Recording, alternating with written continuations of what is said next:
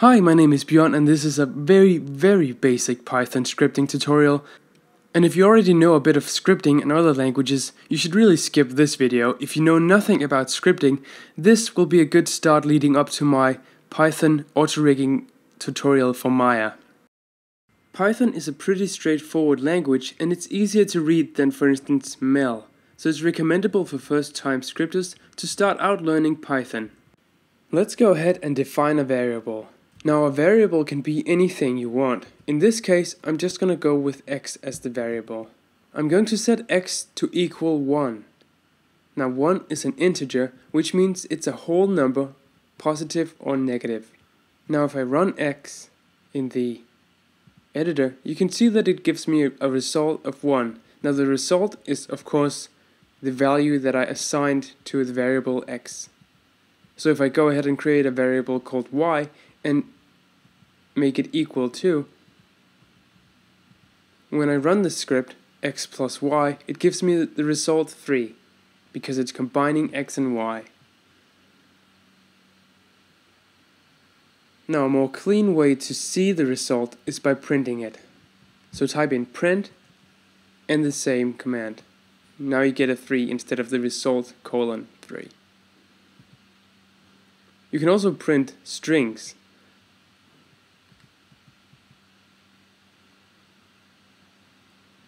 So here I'm making a string. Note though that you cannot combine an integer and the string.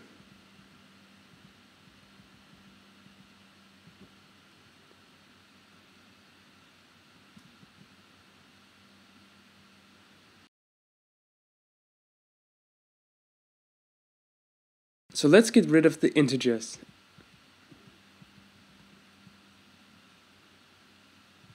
and I'm printing the string.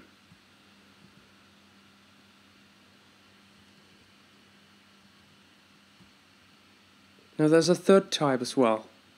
I'm going to set set to be equal to 1.4. Now this is a float. A float is basically a number with a comma.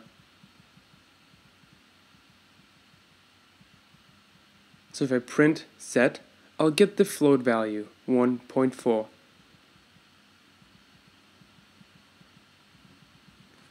Since both integers and floats are numbers, I can combine those by using the plus. But note that Python is case sensitive, so since I defined y as a capital Y and I used a small y in my print sentence, it's not going to work. And it's complaining that the variable has not been defined. So once I make the y capital, you'll see that the print command works. So make sure you're very consistent with capital letters in your scripting. To use Python in Maya, you need to import the Maya commands. You do this by importing the maya.cmds as cmds. So once I've done this, I can go ahead and create a sphere, for instance.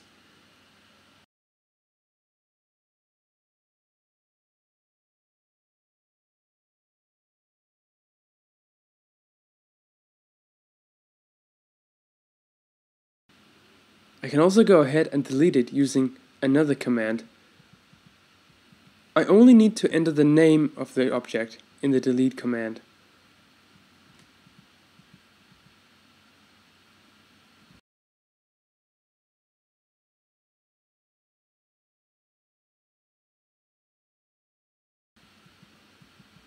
You can import the Maya commands as anything you want.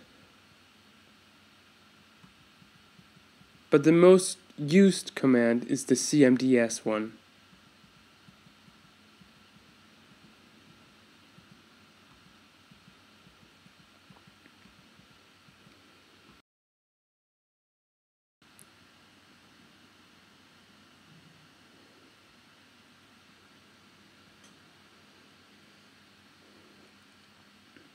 Let's create a sphere.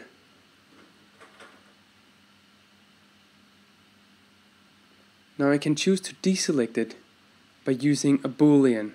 Now a boolean is either true or false.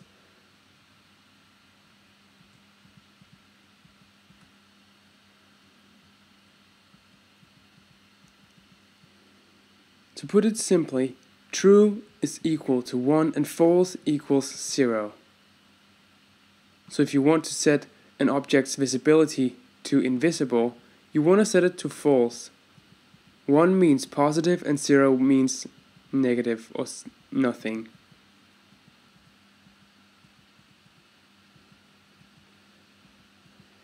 You can also enter the name into the select command.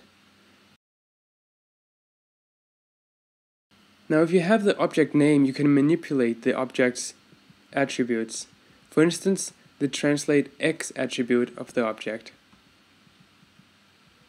Let's set the translate x to 5.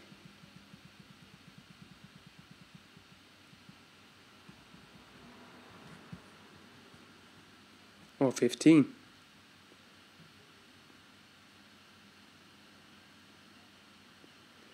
If you're in doubt what the commands are called, you can always use the callback to find out what attribute you're looking for.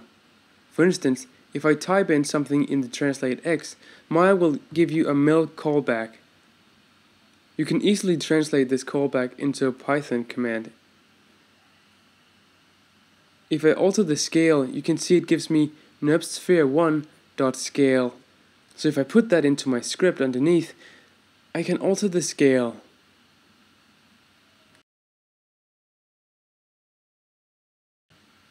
I can also use the Python command reference online, which you find through the help menu of Maya.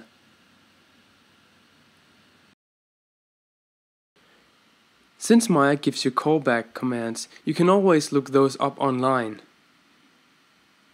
Now what we just used was rotate, so I can search for rotate online Now there's a lot of information on this command, but if you scroll to the very bottom, you can copy the example code and paste it into your Maya script editor.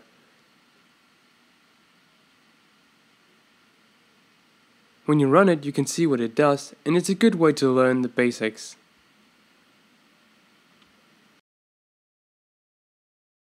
If you want to make comments or notes in your script, you can use the hashtag or square.